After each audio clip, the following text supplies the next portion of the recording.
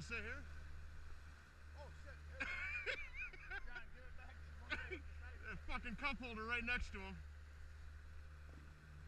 That's a cup holder too.